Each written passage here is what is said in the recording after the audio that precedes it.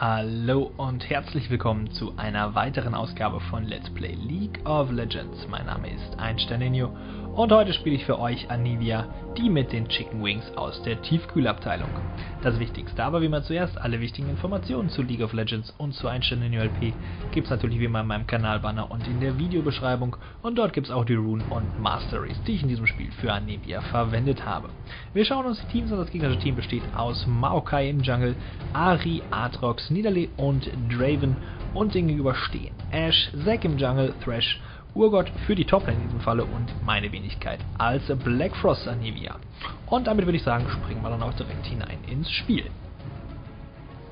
So, damit geht's also los heute mit Black Frost Anivia passend oder beziehungsweise sehr gut im Anschluss an ein äh, Let's Play Quinn, die sich ja dann auch häufiger mal gerne durch ihren Vogel vertreten lässt, heute also als Anivia, die ja äh, von Geburt an quasi ein Vogel ist.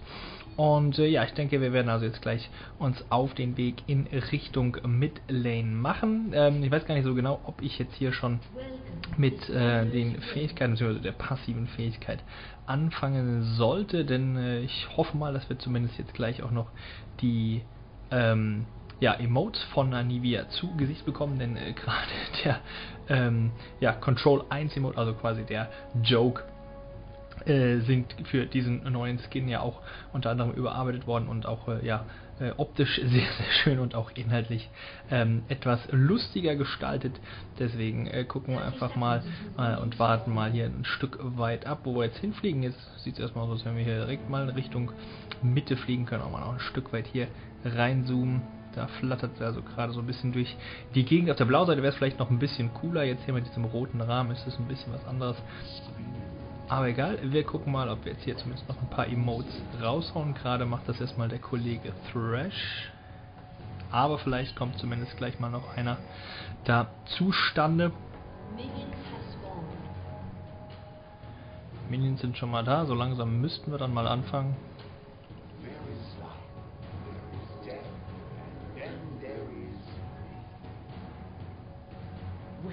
Dark power, I can finally.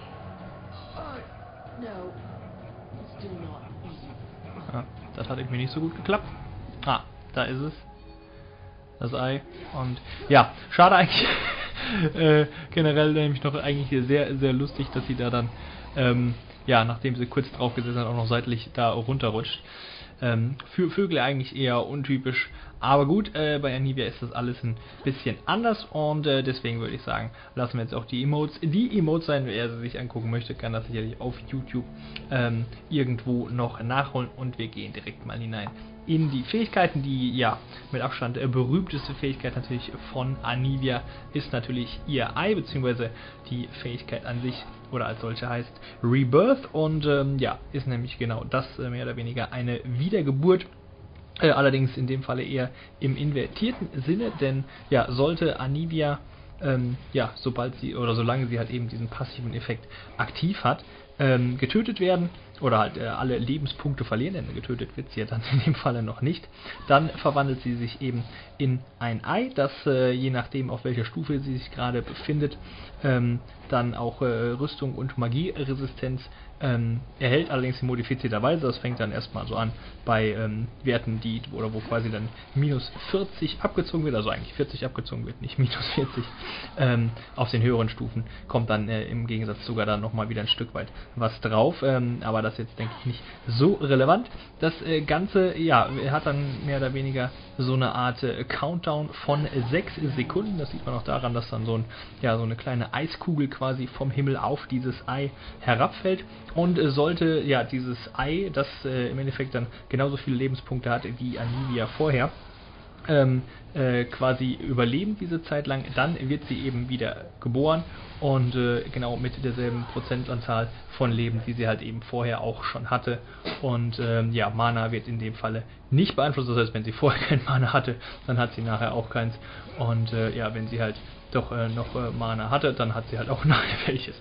So, da haben wir gerade erstmal die gute ähm, ja, Ari vor eine schöne Wand gestellt, da kommen wir aber gleich zu. Vielleicht auch kurz äh, ein paar weitere Fakten zum Egg bzw. zum Rebirth. Äh, sehr interessant zum Beispiel nämlich auch, dass dann auch im Chat, äh, falls man dann irgendwas schreibt oder irgendwas anderes mit einem passiert, dann eben auch äh, Egg Nivia steht und nicht mehr Anivia. Ähm, das Ganze hat einen internen statischen Cooldown von 4 Minuten, kann auch nicht durch irgendwie Cooldown Reduction Items oder ähnliches modifiziert werden. Das heißt, äh, wenn man dann einmal das Ei äh, ja quasi erreicht hat und dann ähm, ist es egal, ob man dann eben das Ganze dadurch überlebt oder auch nicht, dann sind halt eben diese Cooldown von 4 Minuten auf dieser Fähigkeit. Und ähm, ja, man kann das Ganze natürlich auch, wenn es auf dem Boden rumliegt, durch äh, Crowd Control Fähigkeiten, also eigentlich eher dann durch ähm, ja, Move Crowd Control Fähigkeiten, also zum Beispiel sowas wie den Buster Shot von Tristana oder zum Beispiel auch den Headbutt von Alistair durch die Gegend bewegen. Das kann manchmal auch recht hilfreich sein, zum Beispiel wenn äh, sie es halt oder wenn ihr es halt in dem Fall gerade noch geschafft habt, unter den Tower zu kommen, dann äh, dürft ihr euch trotzdem nicht allzu sicher sein, dass ihr das Ganze überlebt, denn äh, dann kann es nämlich trotzdem passieren, dass euch irgendjemand eurer Gegner dann wieder aus dem Tower-Bereich rauskickt. Ähm, dann gibt es ja nicht nur in der Medizin, sondern auch hier in League of Legends durchaus ein paar äh, Champions, die, sagen wir mal, äh, lebensverlängernde Maßnahmen äh, in ihrem Repertoire haben. Zum Beispiel äh, der gute Cillian mit seiner Ulti oder eben zum Beispiel auch ähm, Yorick mit seiner Ulti. Wenn wir jetzt hier direkt schon mal einen weiteren Gang hier versuchen auf Ari in der Mitte, reicht allerdings in dem Fall noch nicht ganz aus der Schaden. Ähm, und zum Beispiel auch mit dem Guardian Angel gibt es ja auch ein Item, was eben genau diese ja, Eigenschaft quasi hat. Und äh, ja, damit ist Anivia, glaube ich, so der einzige Champ, äh, der es schaffen kann, vier Tode zu überleben. Und zwar, wenn man dann halt wirklich mal äh, das Vergnügen haben sollte, sowohl einen Cillian als auch einen Yorick im Team zu haben und einen Guardian Angel, dann wird das also alles in der folgenden Reihenfolge geprockt. Als erstes der Chrono Shift von Cillian, dann kommt das Omen of Death, dann kommt der Guardian Angel und im Anschluss kommt dann äh, noch die Re das äh, Reverse quasi zum Tragen. Und äh, Nee, das habe ich, hab ich schon gelogen. Das Omen of Death ist natürlich als allerletztes, also das kommt dann quasi nach eurem Reverse zum Tragen. Äh, ansonsten äh, war es aber so richtig, erst Chrono Shift, dann der GA, dann eure Passive und dann eben die Ulti von Yorick. Ja, damit wie gesagt könnt ihr eben bis zu vier Tode quasi überleben und äh, das ist, äh, denke ich, schon eine ganz nette äh, Eigenschaft von Anivia. Ähm, ob man das jetzt so großartig ausnutzen möchte, beziehungsweise ob man ein Team mit Yorick und Cillian haben möchte und dazu noch eine Anivia, ist halt eben auch noch die andere Sache. Aber egal, wir sind mittlerweile schon auf Level 6 angekommen und haben noch nicht eine Fähigkeit wieder vorgestellt. Äh, sehr schön auch gerade der Elastic Slingshot da von äh, Zack über die Wand, der nicht so wirklich geklappt hat. Aber egal, wir kommen damit zum Q, der nennt sich Flash Frost und ist ein Path-Through-Linear Skillshot. Dabei schießt Anivia dann so eine Art Eiskugel von sich weg, die dann erstmal äh, linear quasi äh, eine gewisse Reichweite fliegt und an allen äh, gegnerischen Einheiten, die sie überfliegt, erst schon mal magischen Schaden macht und außerdem auch noch den äh, Chilling Debuff auf sie setzt. Ähm, an der maximalen Reichweite explodiert das ganze Ding dann, macht dann nochmal zusätzlich magischen Schaden und stunt außerdem auch noch gegnerische Einheiten in diesem Bereich. Äh, man kann das Ganze allerdings auch während der Flugphase schon manuell zünden. Ähm, da gibt es eigentlich auch gar nicht allzu viel mehr zu, zu sagen. Ich weiß gar nicht, ob wir es gleich mal sogar noch fliegen sehen. In dem Fall erstmal nicht. Doch, da ist es gerade geflogen. Habt ihr gesehen, ich habe es auch gar nicht manuell gezündet. Das heißt, da ist es bis zur vollen Distanz geflogen. Ja, generell ähm, Crowd Control Fähigkeiten wie zum Beispiel Stunts oder auch äh, Silence-Effekte können natürlich auch das äh, vorzeitige Zünden äh, dieser Fähigkeit verhindern. Das heißt, da müsst ihr natürlich auch ein bisschen aufpassen, je nachdem, wie ihr das einsetzt. Zum Beispiel Soraka oder wer auch immer Blitzcrank euch da irgendwie durch Silence-Effekte da schaden kann. Ähm, muss man natürlich schon da ein Stück weit aufpassen, aber äh, generell denke ich, ist man da schon ganz gut äh, mit, wenn man das halbwegs ordentlich platziert, dann auch eben mit der Zündung ganz ordentlich dabei. Ja, die zweite Fähigkeit auf W gelegt. In diesem Falle haben wir eben auch schon äh, zwei oder dreimal zum Einsatz kommen gesehen. Da haben wir auf jeden Fall gerade auch nochmal den Flash Frost gesehen. Ähm, das ist in diesem Falle nämlich das Crystallize. Da erschafft Anivia eine ja, mehr oder weniger lineare Eiswand, die als äh, unpassierbares Terrain gilt. Das heißt, da äh, kann man dann nicht unbedingt durchlaufen. Man kann zwar drüber flashen oder Ari, ich weiß gar nicht, ob Ari mit ihren Charges da auch durch kann. Ich bin mir nicht ganz sicher, ich vermute es sogar fast. Ähm, auf jeden Fall, jetzt gibt es hier vielleicht sogar schon mal direkt unseren ersten Kill. Das ist natürlich schon mal sehr schön da gegen Aatrox äh, in unserem eigenen Jungle erwischt. Ja, äh, ansonsten ähm, gibt es eigentlich zu der Wand nicht allzu viel zu sagen. Ähm, Sie macht nämlich nicht wirklich viel, außer halt eben dumm rumstehen, wie jetzt hier auch zum Beispiel gerade gesehen. Das war jetzt hier gar nicht mal äh, so schlecht. Da muss Aero direkt mal ihre Ulti verwenden, um da noch äh, genug Distanz zwischen sich und uns zu kreieren und vor allem auch nicht äh, da von unserem Stun getroffen zu werden. Ähm, die Wand zieht allerdings äh, aggro, äh, wenn man in Tower Range ist. Die macht zwar eigentlich keinen Schaden, aber trotzdem, sobald Gegner dagegen läuft, äh, zieht sie halt trotzdem die Aggro. Man weiß nicht genau warum, ist aber auf jeden Fall so. Äh, gibt außerdem auch noch ein bisschen Vision in dem Bereich, wo sie eingesetzt wird. Und ähm, ja, äh, ansonsten gibt es auch dann sogar ein Assist dafür, wenn ein Champion vorher, oder nicht vorher, sondern äh, dagegen läuft und im Anzug dann äh, eben stirbt. Das heißt, da könnt ihr euch sogar dann noch einen Assist-Punkt quasi holen. Ansonsten aber, wie gesagt, eine relativ simple Fähigkeit. Ihr stellt das Ding quasi einmal einfach dahin. Ähm, ist ähnlich wie bei der Wand von Katus, auch wenn die ja eher aus äh, magischen äh, Bestandteilen äh, dann zu bestehen scheint dass da mit steigender Stufe einfach die Breite dieser Wand höher wird. Momentan seht ihr, das ist doch relativ klein, das Ganze. Da haben wir erstmal uns in Sicherheit geflasht. Ich weiß gar nicht, ob das zwingend notwendig gewesen wäre, aber ich glaube, wir haben auch gesehen, dass der Kollege Maokai da oben am Start war und dementsprechend sollten wir das Ganze dann da nicht überreizen. Ja, äh, damit kommen wir dann zur letzten Standardfähigkeit. Das ist auch die, die man eigentlich so als erstes maximiert, weil sie doch für den äh, doch ganz ordentlichen Schadensoutput von Anivia zuständig ist, und zwar den Frostbite. Das ist eine Targeted Ability, das heißt, die castet dann quasi einfach auf ein bestimmtes Ziel. Da haben wir es auch gerade auf das Siege Minion fliegen gesehen macht äh, magischen Schaden am Ziel, wenn es da eintritt. Und wenn euer Ziel ähm, ja eben mit diesem Chill-Debuff, den wir ja eben zum Beispiel einmal schon mal über die Q-Fähigkeit da erreichen können, aber auch über eure Ulti, dann macht das Ganze sogar den doppelten Schaden, was schon mal äh, wirklich ganz nett ist. Da kam auch schon mal direkt der Enchanted Crystal Arrow angeflogen und ich habe so ein bisschen das Gefühl, als wenn wir jetzt hier ähm, so ein bisschen der Problematik wären. Da kommt erstmal noch eine sehr schöne Wand, die es auch wirklich da schafft, Ash noch zumindest ein Stück weit zu retten. Da kommt noch die Barrier von Ari raus und wir überleben das Ganze hier sogar noch erstmal. Jetzt müssen wir natürlich wahrscheinlich hier dem Kollegen Zack auch noch ein Stück weit helfen. Da kommt auch erstmal noch die Ulti äh, zum Einsatz, um da noch ein bisschen, ja, quasi äh, Slow-Effekt zu erreichen. Der Sampling macht auch noch ganz ordentlich Schaden. Wir haben natürlich auch immer noch im Notfall unsere Passive da am Start. Aber im Endeffekt haben wir jetzt hier ja quasi 1 für 1 getradet, was glaube ich da bei einem äh, anfänglichen 4 gegen 2 gar nicht mal so schlecht ist. Oder ist Slash auch gestorben? Ich bin mir nicht ganz sicher. Aber gut, wir haben auf jeden Fall das Ganze überlebt und einen weiteren Assist abgestaubt. Das ist ja auch nicht unbedingt schlecht. Ja, wie gesagt, dieser Chilled Debuff kann halt eben über euer Q oder über eure Ulti, zu der wir jetzt gleich noch ähm, kommen, ähm, ja, quasi auf dem Gegner platziert werden. Aber, und das ist ja sehr schön, dass wir das auch gerade hier im äh, quasi Spiel dabei haben, auch durch den Enchanted Crystal Arrow von Ash, also quasi durch die Ulti. Das heißt, wenn sie damit äh, ein Ziel trifft, beziehungsweise ich vermute mal sogar auch äh, alle Ziele, die so da dann drumherum stehen und halt eben diesen äh, Splash Damage quasi abbekommen, haben eben diesen Debuff. Das heißt, auch an diesen Zielen macht ihr dann mit eurem äh, eh doppelten Schaden. Ja, und damit kommen wir dann jetzt schon zur viel zitierten Ulti, auch eigentlich so die Fähigkeit, mit der Anivia unter anderem auch ihre Tear of the Goddess, die eigentlich doch schon so zum Standardbild gehört, einfach nur, weil Anivia auch äh, über diese Passive oder über diese Ulti halt äh, wirklich sehr, sehr mana-intensiv ist. Äh, und zwar ist das der Glacial Storm, haben wir ja auch schon gehört, diesen Namen jetzt hier im Zusammenhang mit den anderen Fähigkeiten. Und da haben wir es auch gerade wieder gesehen, ist eine ja, togglebare äh, AOE-Fähigkeit, die ihr dann einfach mehr oder weniger auf den Boden platziert, da wo ihr es halt gerne hättet, ähm, macht dann äh, eben magischen Schaden und zwar äh, jede Viertelsekunde, also alle 0,25 Sekunden an allen Gegnern, die sich eben in diesem Bereich befinden und äh, markiert dieser dann natürlich halt eben auch mit diesem Schild-Debuff. Das heißt, äh, das ist natürlich auch eigentlich schon mal äh, sehr, sehr gut einzusetzen, um halt eben dann quasi relativ zügig da auch Schaden zu bekommen. Also ihr müsst nicht unbedingt euer Q treffen, was nämlich manchmal gar nicht so einfach ist, sondern könnt eben zum Beispiel auch einfach ähm, quasi mal kurz in die Ulti auf den Boden schmeißen, wo der Gegner ist und euer E dann drauf spammen und dann habt ihr eigentlich ganz gute Chancen, da schon mal ordentlich Schaden zu drücken.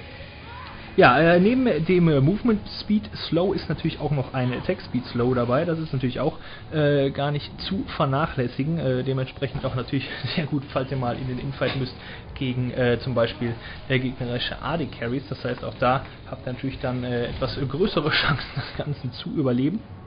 Und dementsprechend äh, ja, muss man dann natürlich auch ein bisschen aufpassen, A, wann, B, wie lange und B, wo man das Ganze dann eben auch hinlegt. Aber ist natürlich zum Beispiel auch sehr, sehr gut, um äh, mit Anivia halt zu farmen. Ich denke, wir werden es jetzt auch wieder sehen, genau, einfach ähm, Gerade auch wenn so eine Wave zum Beispiel in der Mitte ankommt. Ich weiß nicht, ob wir das gleich vielleicht sogar mal äh, in äh, Live und in Perfektion sehen. Äh, schmeißt ihr das Ganze einfach quasi so äh, relativ zentral eben auf den Boden. Lasst euer Kuh dann drüber fliegen. Äh, so wahrscheinlich wie nämlich jetzt hier passiert. Und dann äh, geht das eigentlich A relativ schnell, dass die Wave weg ist und B bekommt ihr auch relativ viele dieser Last Hits. Ja, eine letzte Sache gibt es noch zum Glacial Storm zu sagen. Und zwar äh, die Slow-Effekte von eben diesem Glacial Storm und auch von eurem Flash Frost, also von eurem Q. Die äh, stacken natürlich nicht, denn sonst wäre das Ganze natürlich ziemlich krass. Äh, dementsprechend muss man da natürlich äh, ein Stück weit dann auch äh, das Ganze halbwegs sinnvoll nacheinander vielleicht auch einsetzen, wenn man da eben möchte, dass man da wirklich äh, dann halt auch die volle äh, Distanz quasi dieser Slow-Effekte dann auch ausnutzt. Da haben wir gerade mal so eine Art kleinen sneaky ähm, ja, Damage-Output quasi auf Ari und da haben wir auch gerade mal sehr schön gesehen, wie man das Ganze halbwegs sinnvoll einsetzt, nämlich wenn der Gegner dann einem doch ein Stück weit zu nah auf die Pelle gerückt ist, dann kann man eben auch sehr schön einfach die Wand kurz hinter ihn stellen. Dann ist er nämlich erstmal A, meistens ein bisschen verwirrt und B, dann halt auch erstmal in seinem Movement ein Stück weit blockiert. Dann legt man eben die Ulti quasi auf ihn drunter und äh, dann im Anschluss dann das E hinten dran. Jetzt haben wir allerdings gerade, auch wenn wir eben den äh, Blue Buff vom gegnerischen Team geklaut haben, gerade unseren eigenen Cloud, äh, geklaut bekommen. Jetzt geht es ja allerdings erstmal hinter ähm, Maokai und hinter der guten äh, Niederle her, die allerdings äh, scheinbar auch erstmal noch äh, ein Stück weit entkommen kann und zwar sogar, glaube ich, mit unserem Blue Buff oder hat den Maokai, ich bin mir nicht ganz sicher. Jetzt auf jeden Fall erstmal hier der äh, Flash über die Wand, um äh, Draven da am Backport zu hindern. Jetzt geht es ja auch quasi direkt in den Infight. Da haben wir natürlich jetzt hier schon mal ähm, ein bisschen äh, das Problem, dass wir unsere Ulti da eben woanders schon hingesetzt haben. Die hat natürlich auch einen kleinen Cooldown, bis man die wieder casten kann. Auch wenn sie ja togglebar ist, geht das Ganze doch relativ schnell. Aber im Endeffekt hat es jetzt hier dann doch gereicht, äh, auch aufgrund des sehr guten Wards da im Tribush. Das heißt, äh, das hat uns natürlich schon sehr geholfen, A, um einmal zu sehen, dass sich Draven da jetzt wirklich zurückportet und wir dann, wenn wir da noch hinkommen wollen, uns wirklich über die Wand flashen müssen. Und dementsprechend war das jetzt, glaube ich, hier auf jeden Fall äh, sehr effektiv. Haben jetzt auch unseren zweiten Kill hier abgestaubt. Ich weiß gar nicht, wir warten, glaube ich, noch darauf, dass unser Team jetzt hier auch noch den äh, Dragon quasi zu Ende bringt. Denn dann dürften wir vielleicht sogar noch ein bisschen mehr Gold am Start haben. Gucken gerade mal 1700 nämlich jetzt mit dem Dragon. Und damit reicht es dann nämlich jetzt hier sogar schon für den Rod of Ages. Das waren auch unsere ersten Items, die wir uns eben gekauft haben. Nämlich einmal den Catalyst, The Protector und im Anschluss dann auch äh, die Tear of the Goddess, die auch, glaube ich, mittlerweile schon halbwegs äh, gesteckt ist. Wir gucken gerade mal, ja, Hälfte voll haben wir ungefähr schon. Ist jetzt nicht so überragend nach 16 Minuten. Da kann man durchaus schon mal auch ein bisschen mehr drauf haben. Aber je nachdem, wir sind ja auch doch relativ viel am Roman gewesen. Ich weiß gar nicht, ja, die Wall war natürlich jetzt hier äh, sehr, sehr stark und natürlich auch der Engage. Da müssen wir jetzt natürlich doch ein Stück weit aufpassen. Allerdings jetzt hier sehr schön da der Kollege Zack quasi äh, mitten äh, für uns in die Bresche gesprungen. Geht er jetzt, glaube ich, auch erstmal in seine Passive. Das heißt, da sollte man natürlich jetzt schon noch ein Stück weit aufpassen. Ash jetzt hier im direkten Duell mit ähm, Ari und im Endeffekt bekommen wir jetzt hier sogar noch den Kill. Zack überlebt das Ganze auch noch an seiner Passive. Da konnte jetzt also das gegnerische Team nicht genug Schaden machen und damit hat er zwar seine Passive verloren, ich allerdings meine immer noch nicht. Das ist natürlich auch schon mal äh, sehr, sehr schön zu wissen und natürlich auch manchmal äh, ein Grund dann vielleicht nicht unbedingt wegzulaufen, wenn man sieht, ähm, es ist vielleicht gar nicht so schlecht, wenn der Gegner mal noch ein paar Fähigkeiten auf einen selbst dann ja mehr oder weniger verschwendet, weil man dann erstmal in seine Passive geht und dadurch dann eventuell auch seinen eigenen Teammitgliedern noch ein bisschen Zeit erkaufen kann, um halt eben quasi dann äh, die anderen äh, ja, Gegner quasi zu beseitigen. Damit haben wir also jetzt hier 3-0-3 am Start. Das ist also, glaube ich, gar nicht mal so schlecht. Beim Farm haben wir die gute Ari auch ein Stück weit abgehängt, auch wenn das natürlich jetzt hier nicht wirklich optimal ist. Aber wie gerade eben schon gesagt, wenn man halt so viel unterwegs ist im eigenen, im gegnerischen Jungle und äh, auch sonst wo auf der Map, dann äh, ja, muss man halt da schon mal ein Stück weit mitleben, dass der Farm da generell nicht ganz so pralle ist. Da kommt jetzt auch mal wieder der Glacial Storm zum Einsatz, um da ein Stück weit wegzufahren. Dann haben wir jetzt auch die 100 CS geknackt. Wir gehen jetzt ja, glaube ich, mal direkt wieder in Richtung Toplane, wo aber der gute Zack, glaube ich, da gerade keine Probleme hatte, ähm, da noch mit dem Elastic Slingshot über die Wand dann äh, dem Kollegen Maokai zu entkommen. Damit geht es also jetzt hier erstmal wieder zurück in die Mitte, wo wir jetzt auch wieder mit unserer normalen Standard-Kombo quasi die Minions wegfahren. Wards gehen jetzt hier auch mal noch ein Stück weit äh, ins Repertoire haben wir natürlich genug Gold vorhanden und da kommen jetzt dann auch mittlerweile genug Pinks, um unserem Team auf der Botlane zu signalisieren, dass sich Ari also wieder auf dem Weg nach unten befindet. Ähm, wir machen jetzt erstmal hier noch ein Stück weit ja, Push-Action quasi in der Mitte. Wollen natürlich nicht unbedingt ja, jedes Mal mit der guten Ari mit nach unten laufen, falls sie sich da mal wieder auf den Weg gemacht hat. Und äh, dementsprechend gucken wir jetzt mal jetzt hier sehr schön da der Glacial Storm über die Wand quasi. Da kommt auch nochmal die Crystallized Wall ähm, zur, zum Einsatz. Und vielleicht können wir jetzt ja sogar nochmal mit einer weiteren Ulti-E-Kombi ähm, schon einiges an Schaden drücken. Das ist natürlich auch immer so ein äh, Trade-off, den ihr dann quasi eingehen müsst, je nachdem wie ihr Anivia bildet. Das ist jetzt eher so die Variante mit, äh, ja, doch äh, sehr gutem Sustain und vor allem auch sehr gutem Sustain Damage, also quasi etwas äh, länger anhaltendem Schaden. Ähm, ihr könnt natürlich auch relativ früh schon in Richtung Rabatons Deathcap gehen um äh, dann halt äh, im Endeffekt wirklich richtig krassen Burst-Schaden zu fahren. Jetzt geht er uns erstmal hier hinter dem äh, guten Maokai her, der noch direkt einmal versucht, mit seinem Root ein bisschen was zu reißen. Müssen wir ein Stück weit hier aufpassen, haben nicht mehr allzu viel Mana hier am Start und der gute Zack hat natürlich auch seine äh, Passive nicht mehr. Da sollte man natürlich hier äh, nicht außer Acht lassen. Jetzt geht es erstmal hinter äh, Ari und hinter Maokai her. Wir haben natürlich immer noch unsere Passive, das heißt, da können wir uns natürlich im Notfall immer noch ein Stück weit drauf berufen, aber im Endeffekt sollten wir wir das Ganze jetzt hier nicht überreizen. Ich bin mir nicht ganz sicher, ob die beiden uns jetzt hier nicht vielleicht sogar noch diven gehen. Atrox kommt ja sogar auch noch in die Mitte. Und ähm, ja, ich bin mir jetzt hier nicht ganz so sicher, ob das hier die beste Idee ist, da sogar noch ein Stück weit zu warten. Urgold kommt allerdings jetzt auch noch äh, mit hinunter in die Mitte, um uns da noch ein Stück weit zu unterstützen. Und dann, äh, nachdem wir jetzt noch einmal kurz den Glacial Storm hier eingesetzt haben, sieht es eigentlich erstmal soweit ganz äh, gut aus. Das heißt, da war vielleicht dann doch ein bisschen äh, die, die Überaggression von ähm, Zack nicht so optimal eingesetzt. Einmal halt aufgrund der Tatsache, dass er halt wirklich äh, seine Passive nicht am Start hat und eben auch aufgrund der Tatsache, dass mein Mana-Balken doch relativ leer war. Dafür ist natürlich dann im Endeffekt auch die Träne äh, schon ganz okay, auch wenn wir da immer noch nicht wirklich bei den Stacks großartig weitergekommen sind. Ähm, aber im Endeffekt, wenn man die dann so mit 750 Bonus-Mana aufgeladen hat und auch seine Ulti nicht allzu dämlich einsetzt, kann man da doch schon halbwegs was ordentlich äh, reißen. In der Mitte geht es hier scheinbar gerade noch ein Stück weit zur Sache. Urgott da auch relativ low. Jetzt hier Ash auch noch direkt mitten in der Feier. Jetzt geht euch mal direkt hier rein. Ihr seht da mit einer, äh, ja, quasi ähm, äh, Ulti und E-Kombo haben wir da schon äh, den guten Draven auf knapp 20% seiner Lebenspunkte gebracht. Müssen jetzt, jetzt mal ein Stück weit aufpassen da gegen Niederle und auch gegen Aatrox. Aber zumindest jetzt insgesamt hier 1 für 1 getradet und da jetzt sowohl Thresh als auch meine Wenigkeit doch noch äh, relativ gut da vorhanden sind. Und jetzt geht es ja auch direkt mal mitten unter den Tower äh, und da ist sogar dann noch der Kill hier, der Double Kill im Endeffekt, sogar ich glaube allein durch unsere Ulti da gegen Niederle und auch gegen Thresh. Das heißt, das hat jetzt hier schon mal sehr, sehr gut funktioniert, haben dadurch auch, ich weiß gar nicht von wem, hier sogar noch einen Blue Buff abbekommen. Das ist natürlich auch immer sehr, sehr schön, beziehungsweise eigentlich fast lebensnotwendig auf Anivia und dementsprechend sollte es jetzt hier auch kein Problem sein, den Tower auf der Midlane einzureißen, vielleicht sogar noch ein bisschen Schaden da auf den zweiten Tower zu machen. Ich weiß nicht genau, ob Mauka jetzt hier ähm, ja, quasi verrückt genug ist, hier uns sogar selber anzuspringen.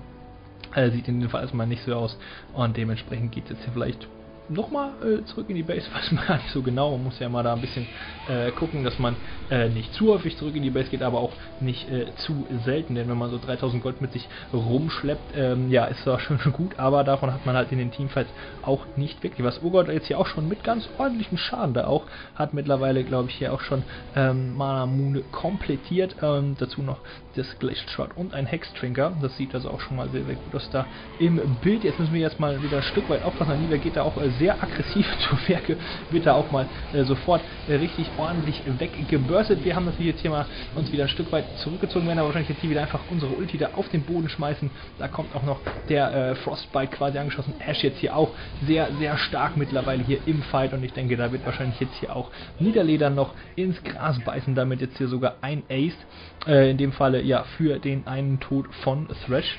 Äh, das war natürlich jetzt hier ein sehr, sehr guter Teamfight für uns auch sehr schön da gemacht. Da war auch gerade die Passive von Zack wieder am Start. Das heißt, der hat das Ganze auch überlebt und im Endeffekt durch den ganzen AOE-Schaden, vor allem auch durch den AOE-Slow, haben wir es da wirklich geschafft, das gegnerische Team da sehr, sehr gut äh, zu beschäftigen, beziehungsweise auch eben zu sauen, unter anderem auch durch äh, eben die Crystallized Wall von Anivia. So, den wir auch fast wieder sehr schön gefangen. Da muss man natürlich immer ein Stück weit äh, aufpassen. Vor allen Dingen, ähm, ja, wir haben jetzt, glaube ich, glücklicherweise mittlerweile hier auch die Zweier Boots am Start, denn ansonsten äh, wirkt zumindest Anivia immer so elendig langsam, weil der einfach keine Laufanimation hat, sondern so langsam durch die Gegend fliegt. Aber egal. Äh, Anivia auf jeden Fall auch ein sehr, sehr starker, äh, ja, quasi Objective, ähm, ja, Sichersteller. Haben wir auch gerade in dem Fall hier gesehen. Einmal dadurch, dass sie halt eben durch ihre Ulti auch wirklich sehr, sehr äh, konstant, sehr, sehr viel Schaden machen kann. Ja, was jetzt Zack davor hatte, weiß er auch nicht so genau. Aber egal. Ähm, und dementsprechend kann man natürlich auch dann im Anschluss mit dem äh, Frostbite da ganz äh, gut eben zusätzlichen Schaden oder re relativ starken Burst-Schaden austeilen. Jetzt hier auch der Kollege äh, Thrash mal wieder sehr stark mittendrin. Ich weiß gar nicht, ob wir es jetzt hier noch schaffen, Draven da zu töten. Ich flash mich auch direkt mal noch über die Wand. Das sieht hier noch äh, halbwegs gut aus. Unsere Passive ja auch immer noch am Start. Das heißt, da können wir jetzt auch ruhig mal den Speer fangen. Da ist es auch sogar passiert. Jetzt wird wahrscheinlich hier die gute Niederlage versuchen, versuchen, uns wegzuholen, was ihr aber wahrscheinlich hier nicht gelingen wird und dementsprechend geht es direkt mal her. Schade eigentlich, dass sie da gerade noch außerhalb der Reichweite der Wand gehüpft ist, denn sonst hätten wir da sicherlich äh, durchaus noch den Kill vielleicht sicherstellen können, denn äh, so viel Schaden dürfte sie mit ihrer Träne und dem Philostone da nicht unbedingt drücken. Aber egal, äh, das hat auf jeden Fall jetzt hier scheinbar äh, gerade nicht so komplett gut funktioniert da mit diesem Teamfight oder mit dem letzten Teamfight, denn ähm, ja, wir sind äh, glaube ich da immerhin drei Leute verschieden oder so. Der Draven. Ah, negativ war. Ach, ich habe wieder auf der falschen Seite geguckt. Blödsinn. Äh, das heißt 2 für 2. Ähm, geht also so, aber im Endeffekt, ja, könnte man natürlich da vielleicht sogar noch ein Stück weit mehr rausholen können, wenn man das Ganze ein bisschen sinnvoller strukturiert hätte. Aber jetzt stirbt hier im Anschluss auch noch die gute Niederlage. Das ist natürlich auch schon mal sehr schön. Alles hier natürlich auf der Jagd nach unserem eigenen Blue Buff, den sich, glaube ich, hier wieder der Kollege Maokai angegangen hat. Oder in dem Fall vielleicht sogar Niederlage, denn Zack hat jetzt hier scheinbar den Blue Buff. Das heißt, den haben wir zumindest jetzt wieder für unser Team sicherstellen können. Äh, das gibt uns vielleicht jetzt hier die Möglichkeit, auch nochmal ein Stück weit in der Mitte zu pushen. Also natürlich jetzt hier auch äh, aufpassen, da ähm, Vision-technisch sind wir jetzt hier nicht sonderlich gut ausgestattet, aber haben natürlich jetzt auch zumindest in ein paar Sekunden im Notfall wieder den Enchanted Crystal Arrow von Ash am Start. Jetzt geht es erstmal wieder an den gegnerischen Blue den wir auch mittlerweile dann doch relativ konstant unter Beschlag genommen haben.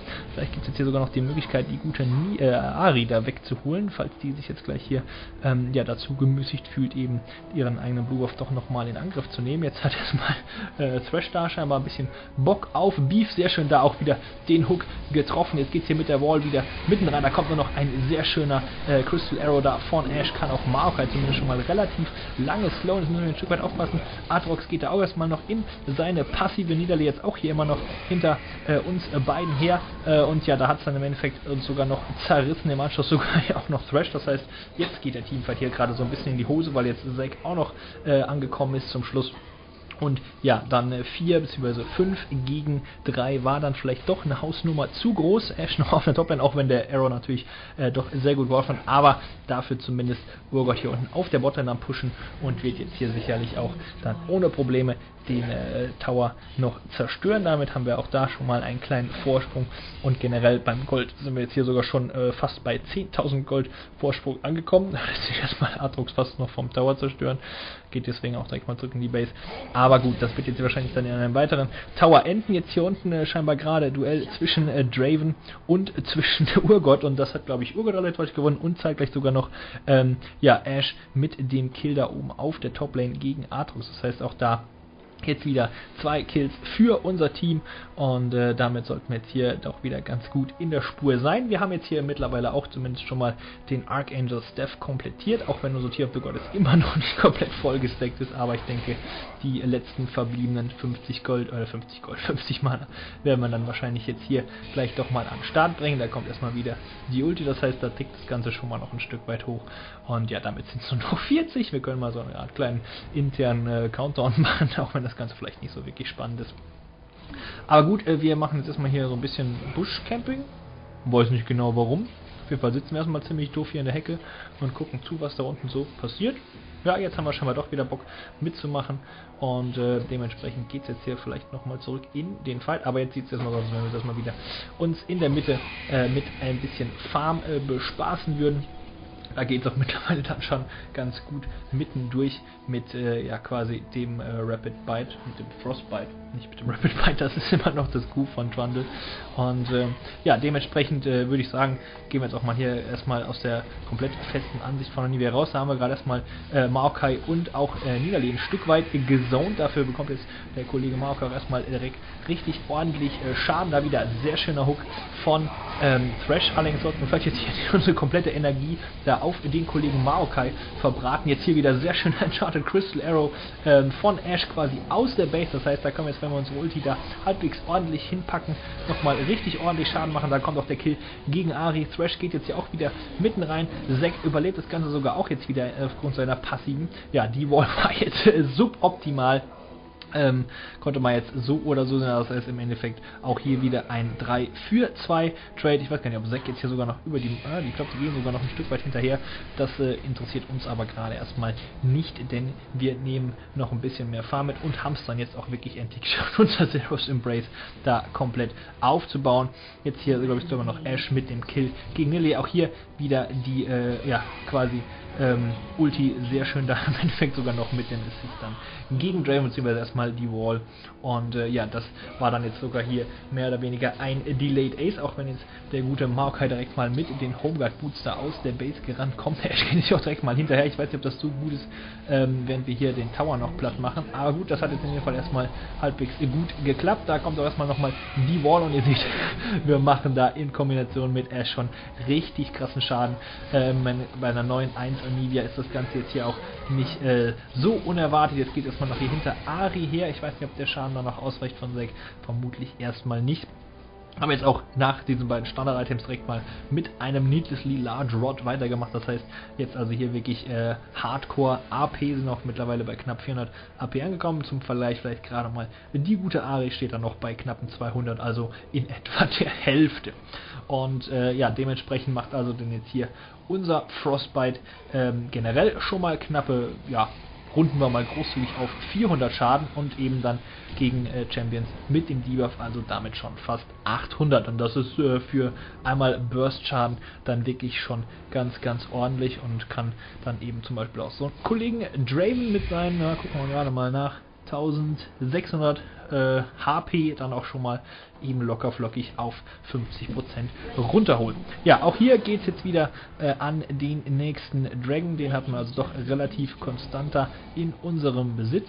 Ich weiß gar nicht genau, Thrash sollte da jetzt ein Stück weit aufpassen, aber Zack geht da auch direkt mal wieder mitten rein. Hook hat in dem Fall leider hier nicht ganz funktioniert. Da haben wir auch gerade direkt mal noch äh, ganz ordentlich Schaden von der guten äh, Ari, glaube ich, bekommen war es in dem Fall. Sind hier auch wirklich sehr, sehr low. Ich weiß gar nicht, ob wir unsere Passive schon wieder am Start haben. Das ist das Falsche.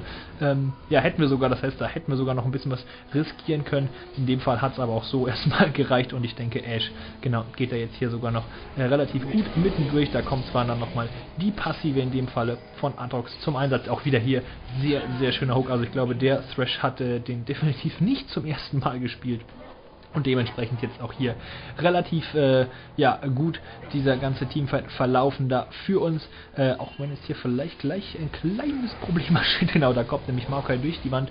Und der gute Draven von unten, aber ihr seht, wie Ash den mehr oder weniger im Alleingang wirklich komplett verhaut, jetzt geht hier Maokai sogar noch im Endeffekt durch die Wand, da kommt der Slingshot und dann eben auch noch das W, glaube ich, also wo er sich quasi so sich selber auf der Cell Division, ich glaube, das ist die passive, wir gucken gerade mal nach, wie sie heißt, kann ja nie schaden und zwar das ganze Unstable Matter. Ja gut, das hätte ich als Physiker natürlich äh, durchaus wissen können. Ähm, ja, wir sind also jetzt hier immerhin dann schon beim zweiten äh, Inhibitor Tower angelangt. Hier äh, die gute Aria trägt man noch im Sonjas Oberglas, wird aber auch hier äh, im Endeffekt genau im richtigen Moment wieder sehr schön da äh, angegriffen von, äh, beziehungsweise angesprungen mehr oder weniger von Zack. Ähm, er jetzt auch hier in Kombination mit Urgot da unten am äh, zweiten Inhibitor. Den sollte man natürlich jetzt schon versuchen noch mit in unser Repertoire aufzunehmen. Jetzt geht erstmal noch hinter Nidle her und seht, äh, ja, eine Burst-Kombo von uns reicht ja schon wirklich aus, um auch bei ihr mehr oder weniger da ähm, ein Drittel der Lebenspunkte wegzuziehen und auch hier dann wieder in Kombination mit Urgot, äh, weiterer Double Kill eben auch für Urgot, äh, aber auch wieder mit freundlicher Unterstützung vom Vogel aus der Nachbarschaft. Ja, den Kill dürften wir uns dann auch mal noch einverleiben. Das Das heißt, auch da haben wir jetzt äh, noch wieder ein Stück weit drauf bekommen. Zack immer noch auf der Flucht hier vor Maokai. Das äh, dürfte wahrscheinlich eine ewig andere Geschichte werden. Da kommt sogar noch der Elastic Slingshot, aber eben auch direkt gefolgt vom Root von Maokai. Das heißt, da gab es dann in dem Fall kein Entrinnen mehr. Äh, ich weiß gar nicht, da ist jetzt, glaube ich, sogar noch der Inhibitor dann wirklich auch draufgegangen, womit also dann äh, im Endeffekt unsere Sammlung hier auf sieben Türme und zwei Inhibitoren angestiegen ist. Das heißt, da sind wir natürlich jetzt hier schon mit ganz gut dabei, knapp 15.000 Gold der Vorsprung. Das heißt, das sieht auch ganz gut aus. Jetzt geht erstmal wieder an den gegnerischen Blue Buff, wo sich gerade der Kollege Maokai befindet. Und äh, ja, ich denke, da äh, sollte man natürlich jetzt hier auch keine großartigen Späße mehr verlieren, äh, um da jetzt wirklich irgendwie was zu riskieren. Deswegen gibt es jetzt hier auch ich, noch den Enchanted Crystal Arrow mitten ins Gesicht. Also ähm, entweder waren diese Leute alle sehr, sehr gut, was ich jetzt unbedingt bei äh, einem Normal nicht unbedingt voraussetzen äh, würde, oder aber äh, da hat auch ein bisschen das Glück äh, mitgespielt in diesem ja, Spiel quasi. Auf jeden Fall auch hier wieder der Crystal Arrow wirklich sehr, sehr gut platziert. Äh, unsere Passive zwar dabei draufgegangen, aber zumindest den gegnerischen Blue Buff haben wir mitgenommen. Das heißt, auch da dürften wir uns in naher Zukunft erstmal keine Probleme mehr um unser Mana machen. So, jetzt hier äh, wieder lustiges äh, Hacken, Hocken quasi da von Ash äh, und auch von ähm, ja, Thrash müssen wir jetzt hier ein Stück weit aufpassen. Da hat nämlich leider die gute Ari, glaube ich, ein Stück weit was gerochen. Wir allerdings haben jetzt erstmal hier den Kill gegen ähm, Niederlehn noch sicherstellen können, auch wenn Ari dann in dem Falle, glaube ich, mit der Flash-Q-Kombo quasi da auch uns dann nochmal zum zweiten Mal immerhin in diesem Spiele schon äh, ruhig stellt. Da war dann auch eben unser Ei gerade nicht verfügbar. Jetzt geht es hier hinter Aria die Zunde auch direkt mal noch. Und Barrier dürfte wahrscheinlich hier nicht mehr wirklich ausreichen. Im Endeffekt stirbt sogar noch Atrox vor ihr. Ich glaube, der hatte auch nicht wirklich viel Spaß da am Spiel. Und ich sehe gerade, der hat AP gebaut. Das äh, könnte die Sache ein Stück weit erklären. Ähm, aber gut, ich denke auch Urgot hat da seinen Teil zu beigetragen, dass das Ganze für ihn da nicht wirklich funktioniert. Jetzt hier sehr schön da die Ulti, äh, auch in Kombination hier mit dem Slingshot und da wird halt selbst so ein tanky äh, Charakter wie eben auch äh, Maokai relativ easy weggefokust. Da kommt sogar nochmal das Schild dann da zum Einsatz und ich denke, damit geht es jetzt hier auf für die Nexus Tower. Ich weiß gar nicht, ob da jetzt hier noch großartig was passiert. Vielleicht äh, werden wir zumindest mal noch wieder äh, respawnen. Äh, da Ash noch, da kommt nochmal der Charted Crystal Arrow die Mitte runtergeflogen. Und ja, scheinbar geht es jetzt hier wirklich noch nicht ganz zu Ende, ähm, weil das Gegner Team da doch nochmal ein bisschen Bock hat. Da kommt nochmal der Arrow angeflogen, trifft in dem Fall eigentlich, glaube ich, niemand mehr. Aber vielleicht wird jetzt hier zumindest die gute Niederlehne noch draufgehen. Na, vielleicht auch nicht. Artox auch nochmal wieder gespawnt, genauso wie Ari. Aber im Endeffekt haben jetzt dann hier unsere Super Minions die ganze Arbeit geleistet. Und damit geht es dann nach 36 äh, Minuten ja, mit dem Abpfiff quasi zu Ende. 47 zu 27, ich denke, äh, ganz ordentlich äh, teammäßig zusammengespielt. Da auch nochmal großes Loop an alle anderen meiner Teammitglieder, von denen ich zwar keinen kenne, aber vielleicht sieht der ein oder andere ja äh, doch. Zufälle gibt es ja immer wieder. Und ich denke, auch wir haben jetzt hier mit 12 2 12 nicht allzu schlecht gearbeitet. Ähm, natürlich auch dadurch bedingt, dass wir da wirklich immer sehr, sehr gute Unterstützung von unserem Team hatten. Ja, Itembild ähm, brauche ich jetzt hier so gar nicht mehr allzu viel zu, zu sagen. Äh, da seid ihr schon ganz gut mit aufgestellt. Ist natürlich die Frage, ob man immer dahin kommt. Das ist also jetzt hier mehr oder weniger so eine Bildvariante. Ich weiß nicht, was ich hier hinten noch rausbauen wollte. Wahrscheinlich noch einen Void Staff, um halt noch, noch mal mehr zu drücken. Ähm, ja, äh, das ist halt jetzt eher so die Variante, doch ein bisschen Sustain und ein bisschen Survivability auch hier mit dem Schild von Zeros Embrace äh, und eben auch noch vor allem dem äh, der Magieresistenz des Abyssal Scepters. Ähm, aber trotzdem noch gepaart mit ganz gutem AP-Schaden, nämlich hier 720 AP, also das ist schon äh, ganz ordentlich, würde ich sagen. Und äh, dementsprechend, ich suche jetzt hier gerade jemanden, der hier am Nexus steht, genau.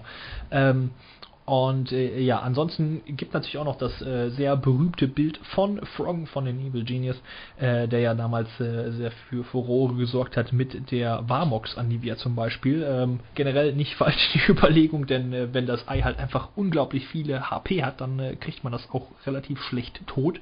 Und im Endeffekt macht auch Anivia mit nur 400 AP oder so, äh, aufgrund einfach des äh, verdoppelten Schadens über den Frostbite, ähm, dann doch noch ganz ordentlich wirklich Damage. Aber wie gesagt, im Endeffekt denke ich, seid ihr mit der Variante hier, falls ihr halt bis dahin kommen solltet, denn nicht jedes Spiel mit Anivia läuft halt so 12, 2, 12 ab, ähm, seid ihr schon ganz gut dabei und auch 200 Minions nach 36 Minuten sind dann eigentlich grottenschlecht. Aber äh, ihr habt ja gesehen, das Spiel verlief halt äh, A nicht lange und B auch äh, insgesamt auch im späteren Verlauf relativ selten auf den Lanes ab. Da war also doch schon relativ viel Action mit am Start. 74 Kills in 36 Minuten, das heißt im Endeffekt knappe 2 Kills pro Minute ist schon eine ganz ordentliche Quote und dementsprechend ist man dann auch mit Kills äh, ein bisschen mehr zufrieden als mit äh, ein paar Minions mehr. Das soll es aber dann eigentlich auch äh, gewesen sein zu Black Frost Anivia. Ähm, ich würde sagen, wir sehen und hören uns dann beim nächsten Mal wieder, wenn es heißt Let's Play League of Legends. Mein Name ist und bleibt Einstein und ich bin raus für heute. Macht's gut, Leute, ciao und bis zum nächsten Mal.